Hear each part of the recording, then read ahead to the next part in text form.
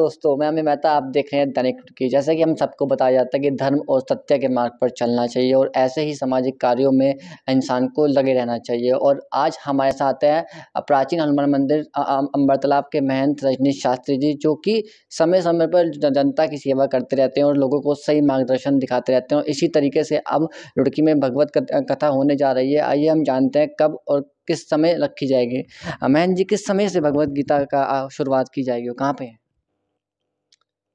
धन्यवाद दैनिक रुड़की के सारी टीम को और जो भी दर्शक हमें देख पा रहे हैं, सभी को बहुत बहुत साधुवाद, नमस्कार। और श्रीमद् भागवत कथा, यज्ञ, अनुष्ठान जो भी कार्य हम करते हैं समय अनुसार, जगत कल्याण हेतु सबका भला हो, सर्वे भवंतु सुखिना की जो हमारी परिपाटी है। और इसका उद्देश्य यही रहता है कि लोग कुमार को छोड़ करके धर्म मार्ग की ओर चले, अच्छाई की ओर चले, बुराई को त्याग करें यह जीवन बड़ा अमूल्य है। मनुष्यता प्राप्त करने के लिए हमें कठिन तप साधना की आवश्यकता होती है। केवल धन कमाना ही जीवन नहीं है। यदि जीवन में हम किसी के कार्य कर सकें, किसी के काम आ सकें, कोई परोपकार का कार्य कर सकें, कोई दया का काम कर सकें, दान का कार्य कर सकें समाज में अपने कुल की परंपराओं की प्रतिष्ठा का ध्यान रखते हुए जीवन में आगे बढ़ें। तो मैं समझता हूँ आपका मनुष्य जन्म लेना सार्थक है।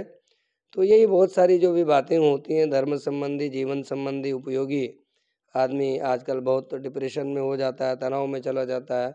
विद्यार्थी विद्या को प्राप्त नहीं कर पाते, एक शेड्यूल जो इस तरह का बन गया है कि जो हमारी भारतीय संस्कृति कहती कि भाई प्रातःकाल ब्रह्म मुहूर्त में आप पढ़ाई करें तो एक कुप्रथा चल गई, रात्रि में पढ़ रहे हैं, दिन में सो रहे हैं, कुत्ते पल रहे हैं, गायें घूम रही हैं तो हमारा प्रयास रहता है अपने धर्म का जो भी पाठ है वो पढ़ाया जाए, हिंदू सनातन संस्कृति में अपने बच्चों को सिखाया जाए, संतति उत्पत्ति करने के लिए प्रेरित किया जाए, गीता, उपनिषद, भागवत का ज्ञान दिया जाए तो ये बहुत सारी चीज़ें आपस में सभी एकीकृत हों, सबकी मानवता का जो संदेश वो देने का प्रयास करते हैं। इसी क्रम में 22 सितंबर से जो हम हर वर्ष करते हैं 28 दिसंबर तक यहाँ पर रहेगी। सभी लोग इसका लाभ ले सकते हैं।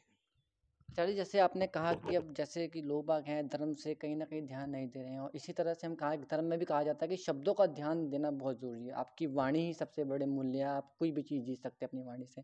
इसी तरह से हम आप नगर निगम की बात करते हैं। नगर निगम में हम देखते हैं कि पार्षदों और मेयर में विवाद हो रहा है और विकास कार्य भी रुड़की शहर का कहीं ना कहीं रुक रहा है। आप इस चीज़ को कैसे देखते हैं?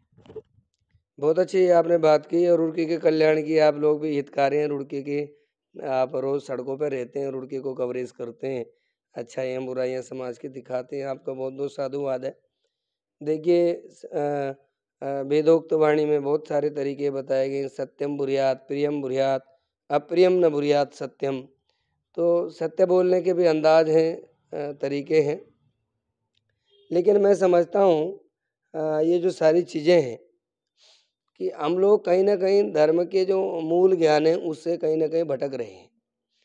अब जैसे अब मेयर है या पार्षद है या और जो भी लोग हैं लगे तो इसमें कौन गलत है, कौन सही है, निर्णय करना जनता के लिए बड़ा मुश्किल हो रहा है।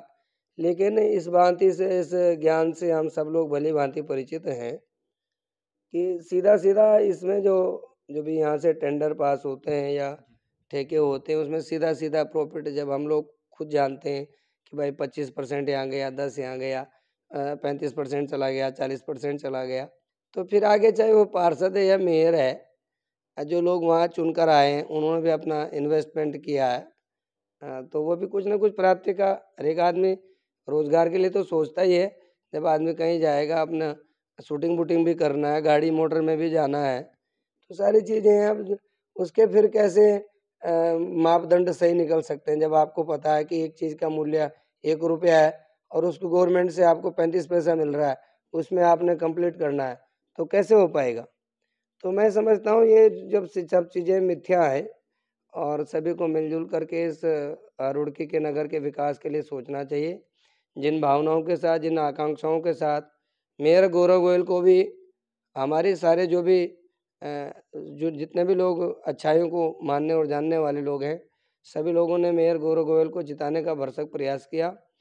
और अच्छी बात है, वो सड़कों पे आ रहे हैं ईमानदारी के लिए तो उनके लिए सराहनीय प्रयास है।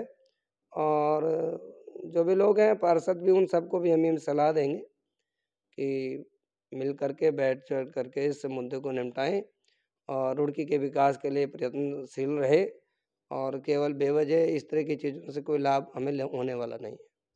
बहन जी, मेरा अगला सवाल होगा कि जिस तरह से आपने कहा है कि लोग अपने ही लाभ देखते हैं और मेयर जी की बात करते हैं, वो कहते हैं कि मैं जनता की सेवा करने के लिए आया हूँ, जनता ने सेवा के लिए देखा है। वो जगह जगह जा रहे हैं, रोड को देख रहे हैं, गुणवत्ता भी जाँच रहे हैं तो कहीं ना कहीं वो कहते हैं कि सच मैं बोल रहा हूँ, आज नहीं तो मैं कल जीतूँगा। पर एक तरफ़ हम लाभ देखते हैं, एक तरफ़ हम सच देखते हैं।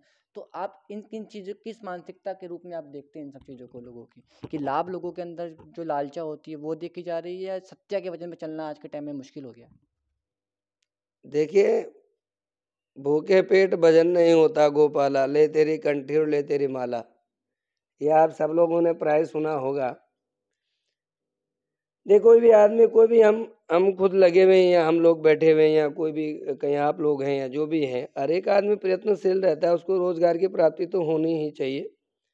लेकिन उसका जो एक तरीका है, उसका तरीका एक अच्छा होना चाहिए और उसका तरीका जिससे हम शर्मिंदा हों, जीवन में हमें पश्चाताप हो, जिससे कहीं हमारी गर्दन झुके, ऐसा नहीं होना चाहिए।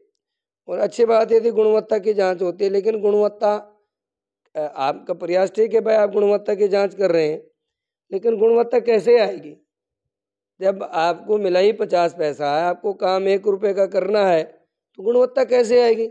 इसमें तो हम सब लोग परिचित हैं, जानते हैं इन चीज़ों को, कि भाई इसमें सीधी सीधी बात है, फिर अधिकारी लोग हैं या और जो भी लोग उस पर इन्वॉल्वमेंट है तो इसमें आपस में लड़ने से तो कोई लाभ है ही नहीं। तो बेवजह मुद्दा है कि भाई इसमें आप कैसे काम करेंगे? कैसे गुणवत्ता दे पाएँगे? कैसे सीमेंट दे पाएँगे? अच्छी चीज़ आप कैसे दे पाएँगे?